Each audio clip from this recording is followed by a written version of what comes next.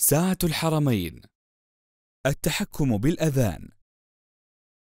الشكل العام والوظائف الرئيسية للمفاتيح.